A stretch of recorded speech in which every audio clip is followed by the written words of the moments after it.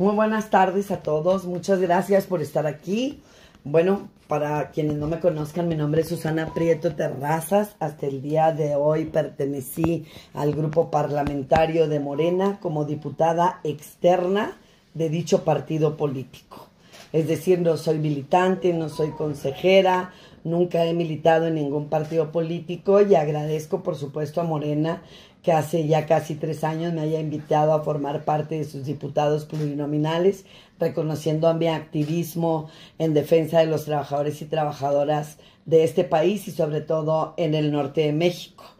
Pero es insostenible mantenerme en el grupo parlamentario, primero por eh, los acuerdos que ha roto el presidente nacional del partido y que ya incluso me han sido hasta ratificados por el coordinador de la facción parlamentaria en el, en el evento en que estaba yo supuesta a continuar, ¿no? Como parte del grupo legislativo de este grupo parlamentario por un periodo más y que finalmente han decidido que no sea así.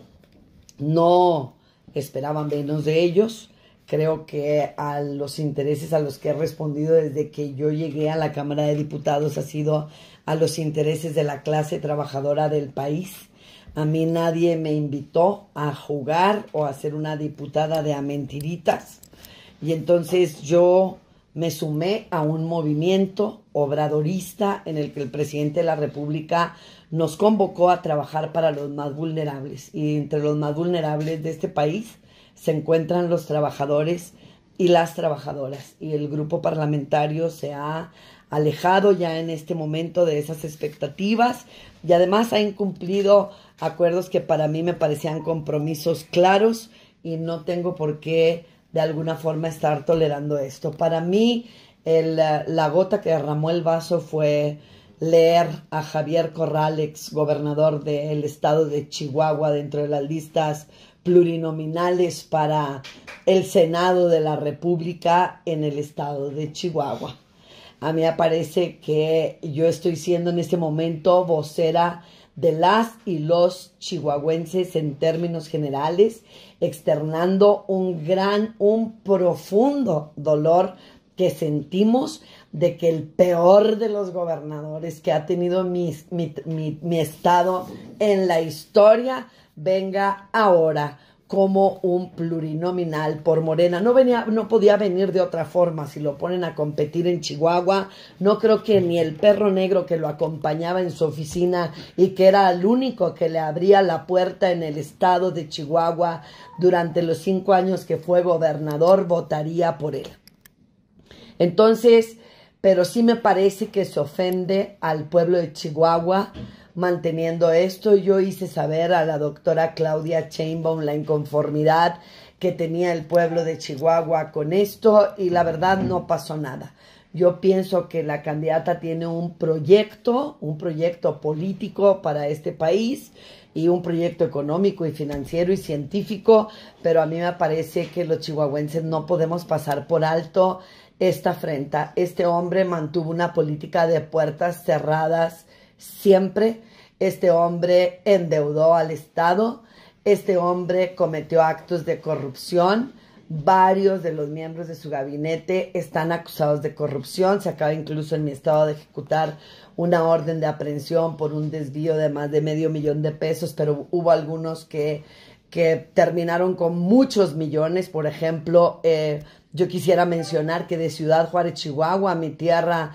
de origen, este fideicomiso de los puentes internacionales, que tanto le costó trabajar a muchos activistas y políticos para que ese dinero se quedara en Juárez, lo esfumó el que ahora será senador plurinominal por el partido Morena. Entonces, con quienes nos hemos puesto la camiseta, con quienes dentro del desorden que es mi vida y mis apreciaciones políticas y todos mis conflictos que la prensa conoce